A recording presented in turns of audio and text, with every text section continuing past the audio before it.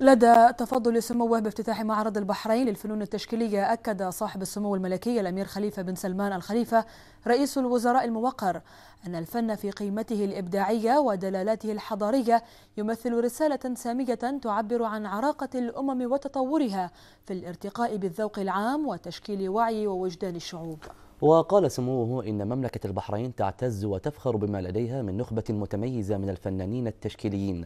الذين استطاعوا بإبداعاتهم أن يعبروا عن الوجه الحضاري للمملكة باعتبارها بلدا عرف عنه بريادته في مجال الفن والإبداع. ونوه سموه إلى أن معرض البحرين للفنون التشكيلية على مدى السنين الماضية استطاع أن يتبوأ موقعا متقدما بين المعارض الفنية المتخصصة إقليميا ودوليا وهو ما يظهر جليا في تزايد الإقبال على المشاركة فيه من قبل الفنانين نظرا لما يتمتع به المعرض من سمعة طيبة إعدادا وتنظيما.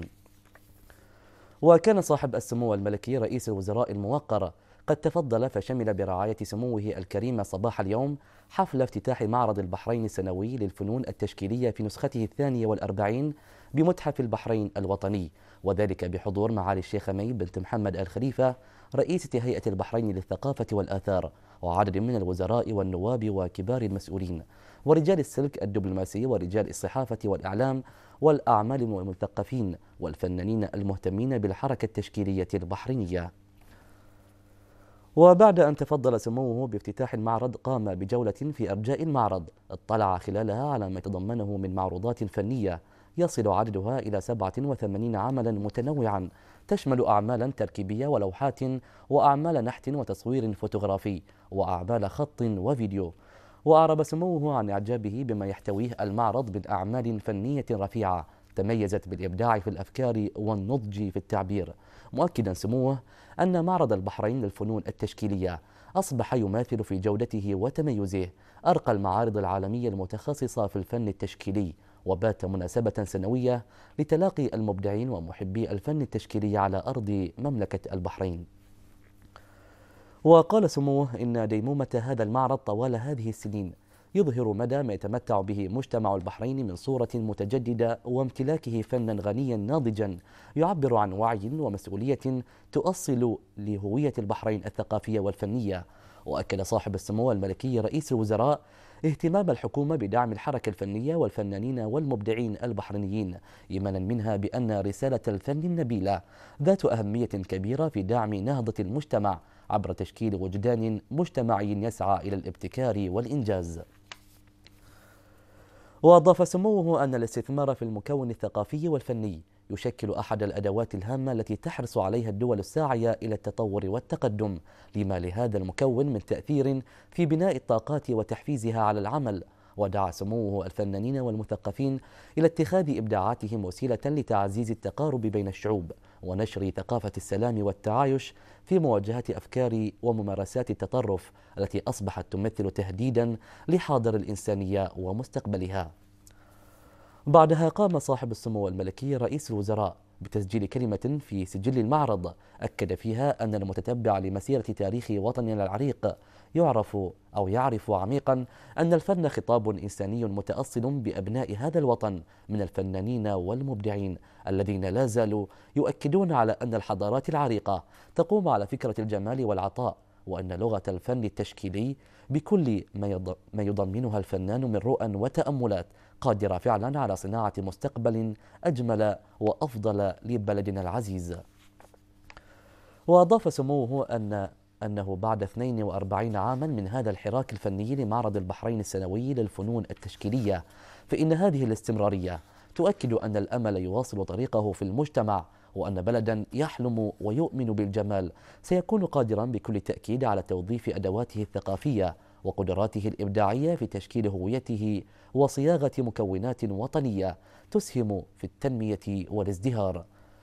ونوه سموه إلى أن كل معرض سنوي يعني أن المشهد الفني والثقافي البحريني يعمق وعيه بمفردات وتأملات الحياة مشيرا سموه إلى أن هذا رهاننا كي نصل إلى العالم بسجل تراثي وفني متنوع.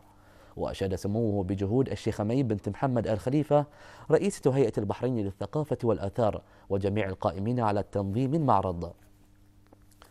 وقال سموه كل الشكر والتقدير لهذه الجهود التي تؤكد أن البحرين ملتقى ثقافي يدرج الفن التشكيلي رهانا للتطور والبناء الحضاري من جانبها توجهت معالي الشيخ ميب بنت محمد آل خليفة رئيسة هيئة البحرين للثقافة والآثار بجزيل الشكر والامتنان لحضرة صاحب السمو الملكي الأمير خليفة بن سلمان آل خليفة رئيس الوزراء الموقر لرعايته المعرض منذ إقامته في العام 1972 مؤكدة أن هذه اللفتة تحيط الفنانين بالاهتمام وتدل على أن مملكة البحرين تقدر إبداعاتهم ونتاجاتهم وتضيفها إلى سجل إنجازاتها الحضارية.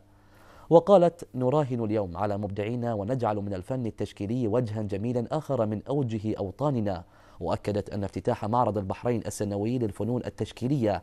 يأتي في وقت تحتفي فيه هيئة الثقافة بمقومات مملكة البحرين الحضارية والثقافية خلال عام 2016 بشعار وجهتك البحرين ليكون بذلك الفن التشكيلي وجهة ثقافية من بين وجهات كثيرة تستثمرها مملكة البحرين لصناعة تنمية مستدامة ترتقي بالبنية التحتية الثقافية وتجعل من الثقافة خطابا إنسانيا يصل إلى الجميع.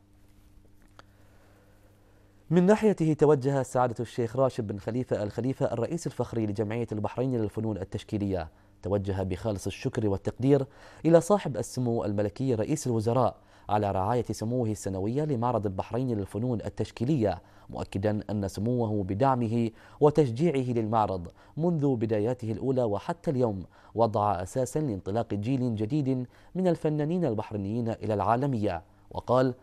إن ما نشهده كل عام من تطور ملحوظ في المعرض ألقى بظلاله على المعارض والفنانين التشكيليين وهذا ما كان ليتم لولا دعم واهتمام صاحب السمو الملكي رئيس الوزراء الذي أرسى أول بداية لهذا التجمع الفاعل والحيوي من الفنانين الذين أثروا الحياة الفنية والتشكيلية في مملكة البحرين. وأكد الشيخ راشد بن خليفة الخليفة أن المعرض من خلال الرعاية الكريمة لصاحب السمو الملكي رئيس الوزراء استمد قوته في الإبداع